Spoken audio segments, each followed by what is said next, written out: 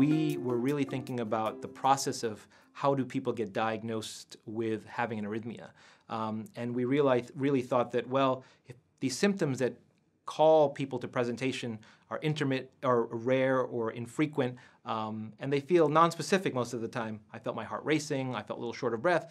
Oftentimes people don't know they need to see a specialist, but cardiac electrophysiologists and cardiologists who have all the technologies are probably at the end of the chain, but we really tried to think about how do you get there. And so the first thing we noticed is there's a misalignment of where people present, primary care doctors, hey, my heart's racing, it felt, I felt it race for two minutes three days ago, again today, but they don't have the technologies to figure out, well, is that your heart or not? Or they go to the emergency room.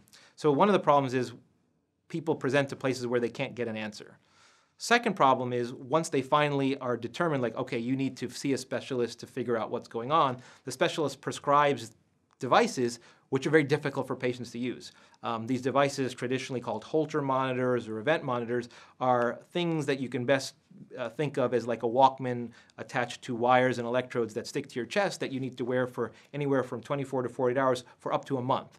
The challenge is if they're really short, you can do it, but oftentimes they don't capture anything because you have your symptoms more infrequently than that. If they're really long, taking these devices on and off every time you get wet, um, you know, use, utilizing it, going out with it when everyone can see these wires, um, just makes it very difficult for patients to comply with, so they don't. And oftentimes, we get, ans- we get results in which we don't know if it's negative because the patient didn't use it or because there was nothing there.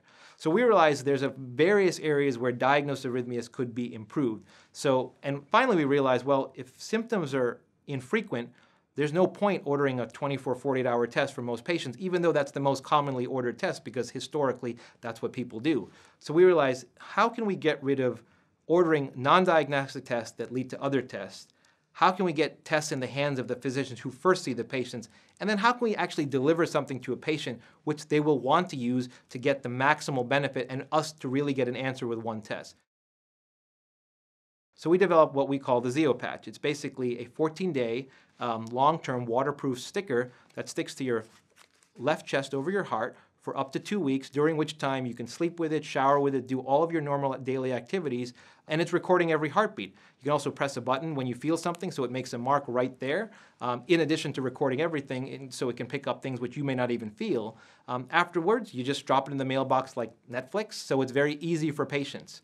Uh, we've done over 250,000 of these now, um, and this product has basically slowly changed, is slowly changing the paradigm of how people get diagnosed with arrhythmia. And I think you know, when we look back, I think we've gained a lot of acceptance because we're reducing the number of tests that people need to order because one test is now getting answer.